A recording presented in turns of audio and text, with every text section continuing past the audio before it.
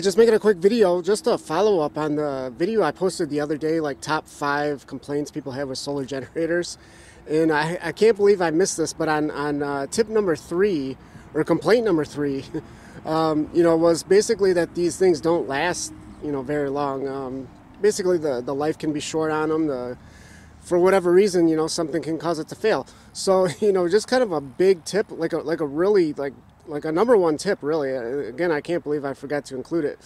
Is um, you know, basically heat is gonna be one of the main factors that causes these things to basically fail prematurely.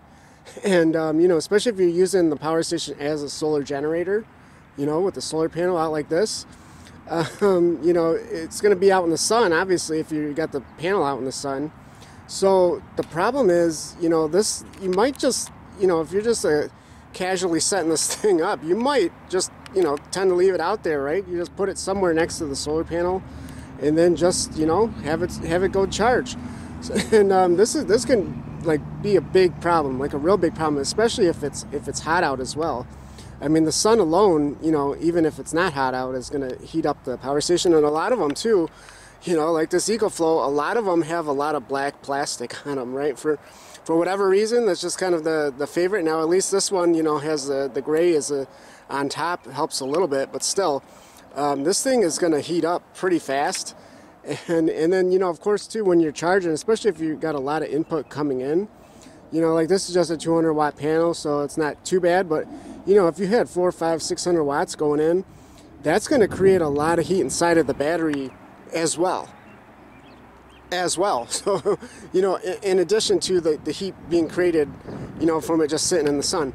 So just, you know, a real, like kind of a number one tip, as I said, is just get this thing in the shade. And we're back, so there it is. I mean, that's, that's all you got to do. If you're using a portable panel like this that has a, you know, that is angled up, um, you know, just tuck it in the shade. If you can't do that for whatever reason, or just any kind of shade, you know, basically any kind of shade, get it out of the sun. And um, this will make a huge difference.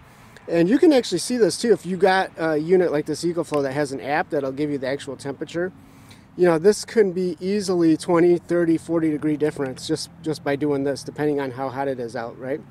So, um, so yeah, one of the, the top um, reasons these things fail early, tip number, or complaint number three from that video, um, could be because of it overheating. So, you know, just make sure you do this. Keep it keep it cool. Keep it in the shade. Do whatever you got to do to keep it cool, right? So hopefully you just kind of found this uh, video interesting or helpful. And yeah, thanks for watching.